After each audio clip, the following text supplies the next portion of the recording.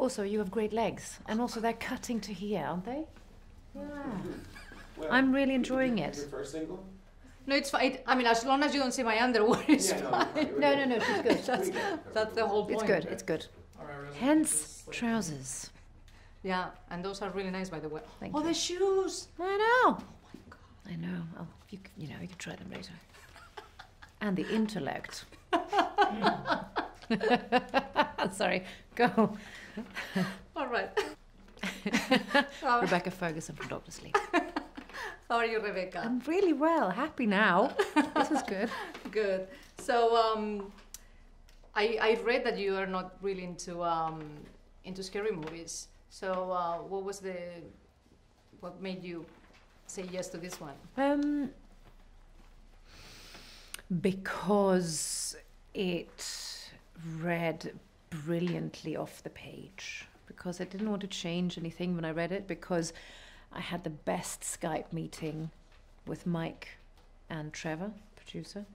Um, and I thought I don't I don't want to miss the opportunity of being in a room with these two men. I, I fell in love with their ideas, and I felt I felt like I was talking to a brother. Uh, you know, it was we were laughing so much, and also because Rose is so bloody cool. well, she is. You know, it's just Yeah. such a cool character. Yeah, that, you know, she's it's it's, ama- it's amazing. Um, did you watch the the film? Or first, first of all, did you? What was your first impression when you watched the film back in the day of, of The Shining? What what was your reaction? I was very scared. I was young. I was probably too young, 14, 15 years old. Uh, very, very tense because Kubrick has this incredible, um, subtle, you know, his creation of, of just tension, you know, music, score, a rug, and wood. You know, it's just, it's so simple and just so un- uncomfortable. Did you did you have the chance to meet Stephen King? Or No. Would you would you like to? I do. I do. And then, as someone said, don't meet your sort of heroes and don't meet. Oh. Mm, Not that I'm going to be disappointed in Stephen King. Um, I've read so many of his books. I just want to be in his head. I'd probably make a fool out of myself. I'd ask too many questions. So did you read his books growing growing up? Yes. Mhm. Yes. Any- no, any- growing up, mm, when I got older, um, yes, I read. I read so many of them, and I just I think I can't pick a favorite because he has. I'm reading The Outsider now, which is bloody terrifying. Um, but he has such there's such musicality to his writing, to his description of environment, the conversation between two people describing the third. I mean, it's just Mhm. yeah. Yeah, it's amazing.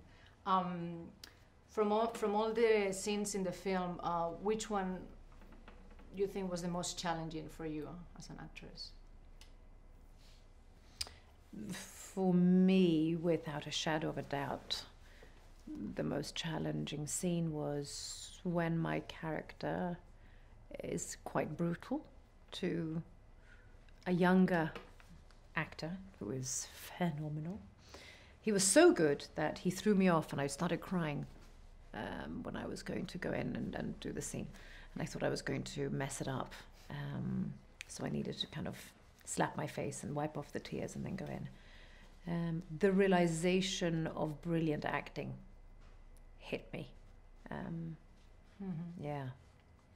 Um, in the in the film, you have this this power, this mm, shine, or wha- whatever you, you guys want to call it.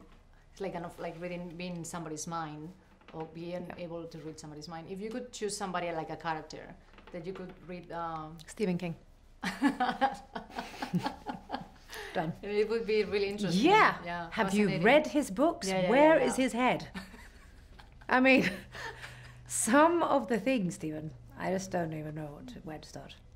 it, it must be so absurd and so brutally tiring and wonderful and exotic to be in his head. Mm -hmm. Yeah, that's a good one. Well, thank you so much. Thank you.